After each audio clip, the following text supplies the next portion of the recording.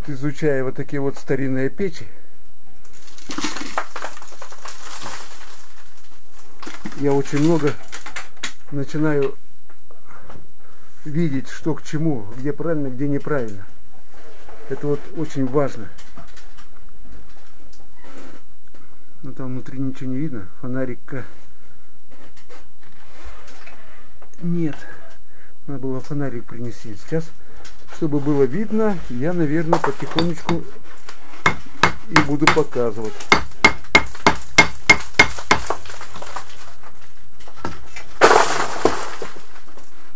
Ну, смотрите, сколько уже всего.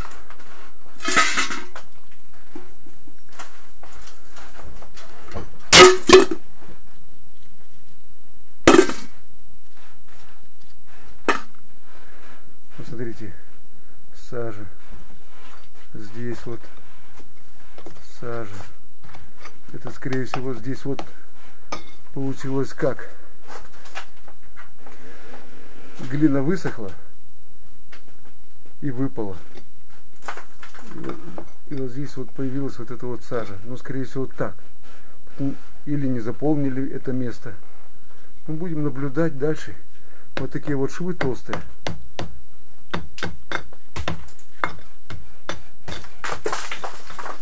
Интересно, каждый кирпич разбирать в печи и наблюдать, что здесь было.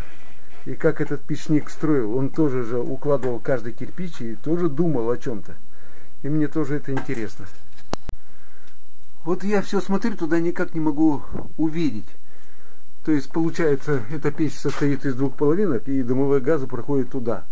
То есть, там тоже ничего не видно, надо привести фонарик. То есть дымовые газы проходят сюда,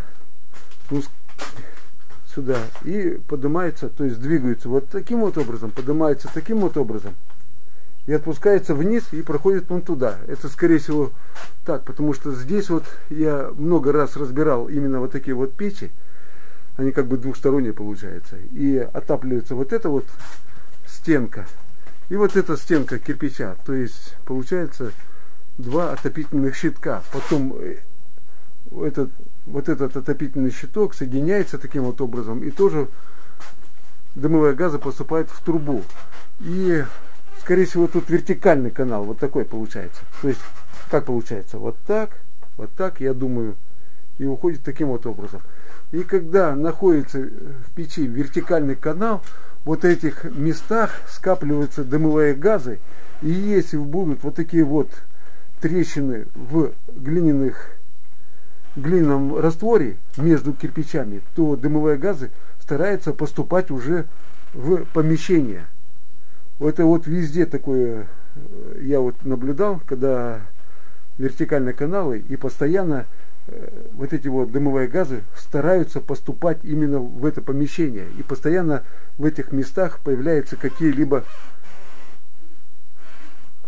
места такие вот между кирпичами, они как бы грязные получаются. И постоянно забеливают, забеливают вот эти вот трещины. Это так оно и есть. Но сейчас я ничего не могу увидеть, темно. Но поеду на обед, привезу фонарик и обязательно рассмотрим. А пока я начну разбирать, и вон там интересно, что там находится. А нет, там нету ничего. То есть я очищу. То есть там вот такая вот перегородка получается. Ну, все правильно возможно, вот, вот так, вот так, вот так и уходит туда. Это у меня уже было такое, и я уже знаю, как эти домовые каналы двигаются. И вот вертикальные каналы вот с этими вот вещами, они вот на самой высокой точке, где идет поворот вниз, вот это вот самое опасное место для печей. Вот у всех этих печей, когда вертикальный канал именно вот смотрите, Кирочка, ну что такое, как она мне это надоело, вот это вот, ну неправильно сделали. Вот смотрите, здесь на середину, на середину, как бы вот так идет, и здесь на середину идет. И цепление получается только вот в этой середине. И никак не заклинишь, понимаете? Никак. Вот здесь заклинивается, а здесь есть такая вот щель. И постоянно движение.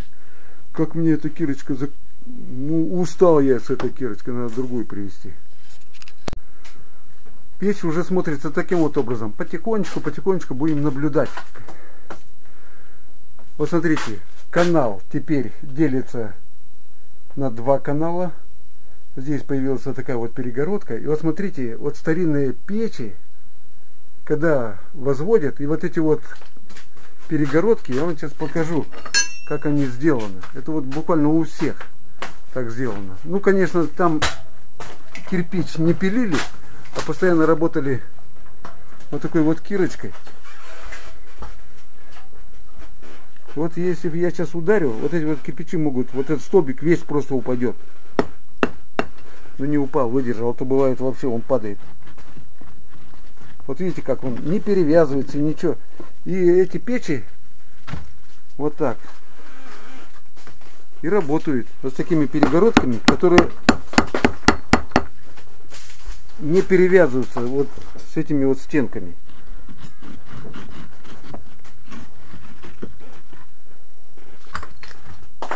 Так, ну что-то уже видно. Далее посмотрим, что будет и как это все будет. Ну вот эти вот вертикальные каналы, вот здесь вот такая температура создается, это обалдеть можно. И вот эти вот, смотрите, вот видите, все это сюда проходит тяга вот сюда двигает, двигает вот сюда тяга. Даже тяга, которая появляется в трубе, она не помогает вот этим дымовым газом продвинуться. Она как бы создается здесь, вверху, как бы создается уже, можно сказать, давление какое-то такое же, как и атмосферное. Оно как бы ищет вот такие вот маленькие трещинки, маленькие щелочки. И везде, везде это все проходит таким вот образом.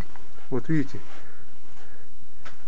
я бывало видел такое, ой-ой-ой, вот именно с такими вот вертикальными каналами. Там обороты, вот сейчас современные печки делают, вертикальные каналы делают, это вообще ужас.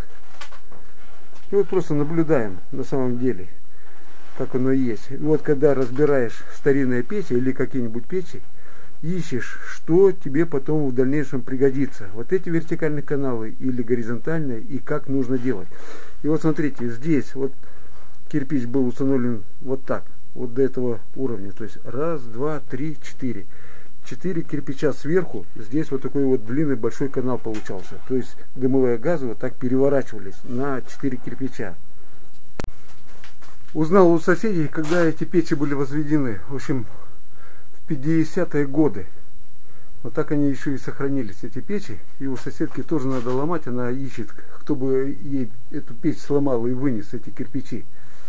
С ней поговорили, но там печка совсем другая.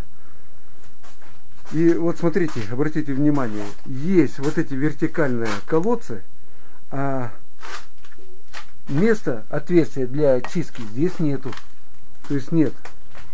То есть эти печи просто не чистится. И там тоже колодцев нет. Вот так печь была сделана. А кирпичи здесь не один вид кирпича, а по-моему три вида кирпича. Вот я сейчас проверяю. Тут вот смотрите, вот такой кирпич какой-то почему-то тоненький. Тут вообще он толстый какой. Почему вот такой тоненький, интересно, вот это мне знать. Конечно, я его знаю, почему вот такой вот кирпич. Уровень что ли не соблюдался делали, делали и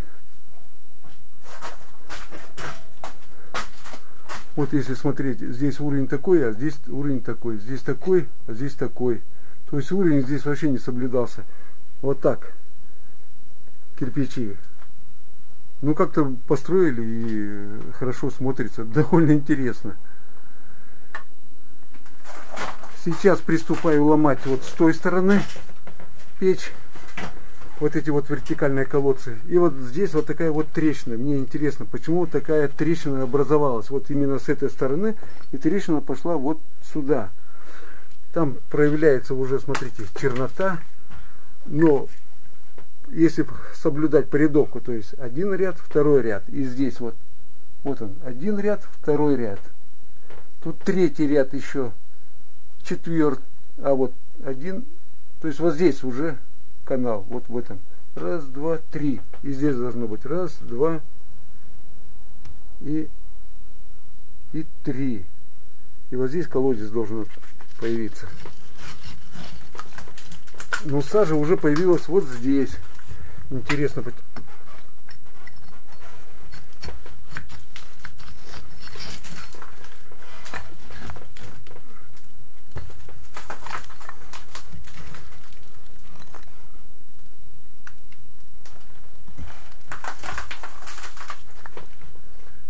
Вот она сажа.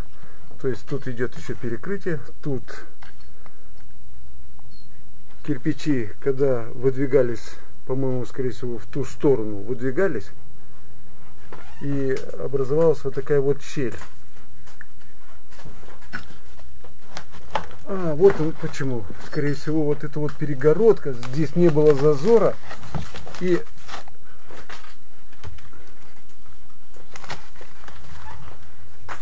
и давление создавалось вот в эту сторону. То есть давление то есть дом садился или фундамент играл, в общем, непонятно что, но понятно, почему произошла трещина.